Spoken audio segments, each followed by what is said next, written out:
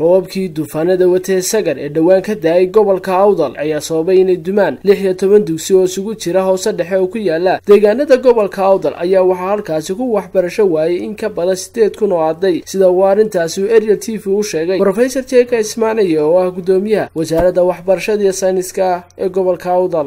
Waxaan soo aragnay dugsiyo ka kooban afar iyo toban dugsi laakiin waxaa jirtay laba dugsi oo markaa warbixintoodii kanaga maqnayd oo taleefonkuna u shaqaynin aananu soo marin sida iminka cabdi geedi oo kale oo isna labadii fasal iyo uu ka qaaday xafiiskiiba jiingada waxaa kaloo jirtay siimoodi oon iyada kaba filaynba margeedna afartii fasalba uu jiingadii ka qaaday.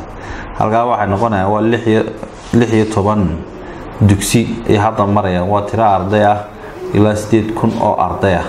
Ayaa maanta u baahan hooygii waxbarasho ay ku dhigan lahaayeen ha kala duwanaadan iskuullada qaar. San hore u sheegnay waxbaa hadhay laakiin iskuullada qaar weli waxa maa hadhin oo meel wax lagu dhigtaay ma jirto.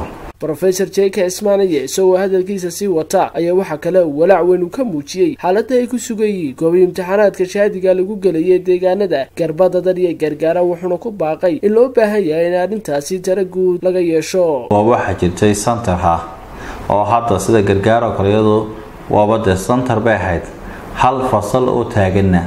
Ma jirto.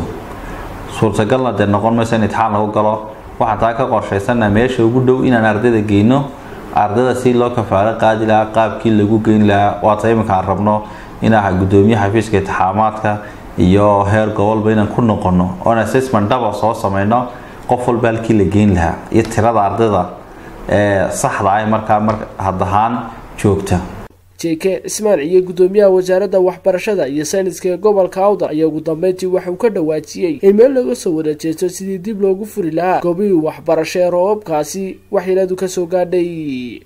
Dee markaa kolley xaaladaasi waxaan u arkaa waa tii ugu weyneyd ee soo marta dee bahdii waxbarashada gaar ahaan gobolka awdal dee lix iyo toban dugsi oo hal mar ay dhib soo wada gaadho.